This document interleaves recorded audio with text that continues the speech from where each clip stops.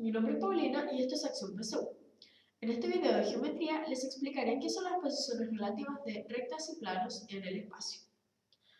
Tenemos un plano aquí y vamos a decir que hay dos rectas contenidas en el plano y son paralelas cuando ninguno de sus puntos coincide. Tenemos esta recta A y tenemos esta recta B. Nos damos cuenta que ningún punto entre ellas coincide, pero tienen la misma pendiente, por lo tanto son rectas paralelas. Ahora, tenemos un plano y decimos que hay dos rectas secantes contenidas en el plano cuando estas rectas se intersectan solamente en un punto.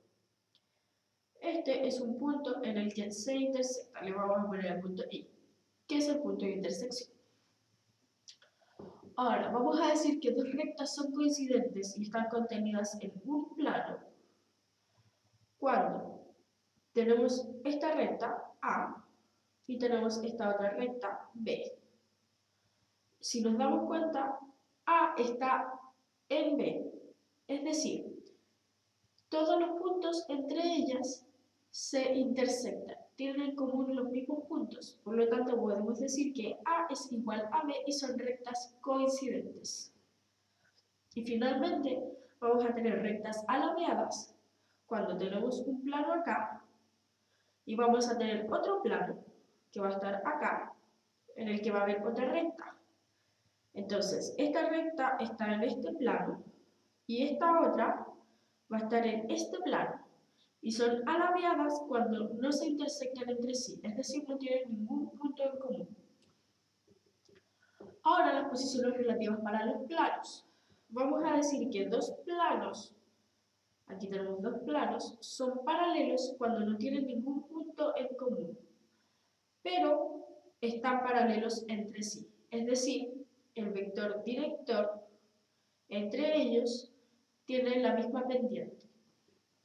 Ahora, dos planos son secantes, ahí tenemos un plano, y acá vamos a tener el otro plano, si es que ellos se intersectan en una recta. Esta, esto no es un punto de intersección, es una recta. Imagínense dos hojas a las que ponemos una hoja aquí y una hoja acá, se van a intersectar en una recta, que corresponde a esta recta. Finalmente, los planos coincidentes son aquellos planos en los que tenemos un plano acá y un plano encima de él, es decir, es como si estuvieran acoplados. Anteriormente teníamos rectas coincidentes en las que una recta estaba encima de la otra y eran iguales. En este caso vamos a tener lo mismo. Todos y cada uno de los puntos que conforman a este plano son los mismos puntos que conforman al otro plano. Ahora, tenemos un plano y una recta. Un plano, que es este, va a ser paralelo a una recta, que es esta, cuando no tenga ningún punto en común entre ellos. Pero el vector director de este plano está paralelo a la recta.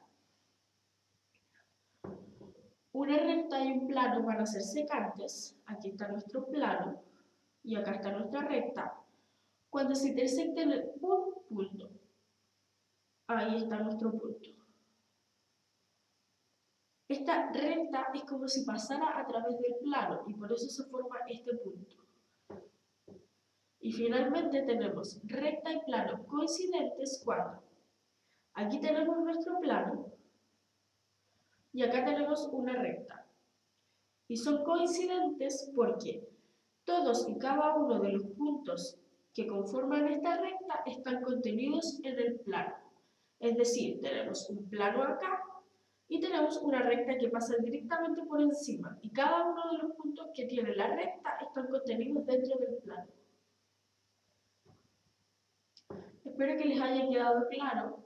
Esta materia es más que nada conceptual, pero deben tenerla clara. Los invito a seguir viendo el material que está disponible en Acción PSU.